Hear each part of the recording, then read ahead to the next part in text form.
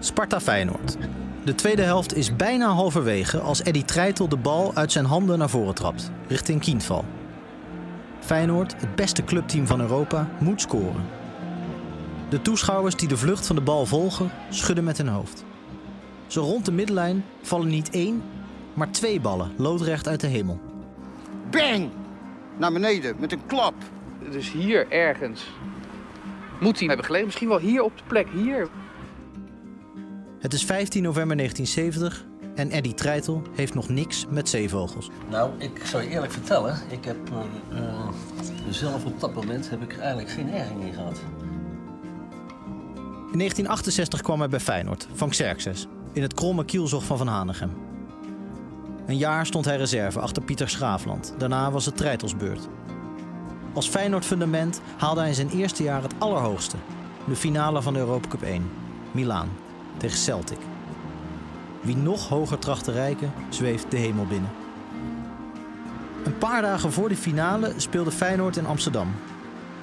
Het werd 3-3 tegen Ajax, mede door enkele onhandigheidjes van de doelman.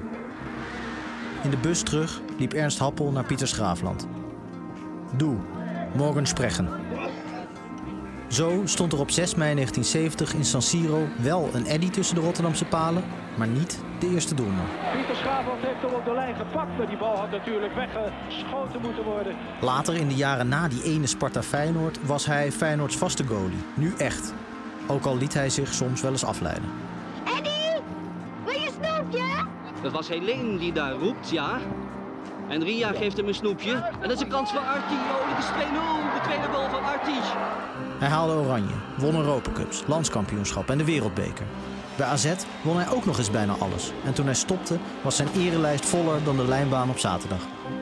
Maar daar had niemand het over. Iedereen wilde het alleen maar hebben over 15 november 1970. De bal die die middag het eerst beneden is, blijkt een levenloze kokmeel. Hans Eikenbroek grijpt het lijkje bij een vleugel en deponeert het langs het veld. De wedstrijd wordt hervat met een scheidsrechtersbal. Al het bewegend beeld ging in rook op. Het dier werd opgezet en vermenigvuldigde zich postuum, zodat nu twee musea Treitels slachtoffer exploseren. Het is de les van Eddy Treitel. Tijd en roem vervliegen, maar een dode meeuw is voor de eeuwigheid.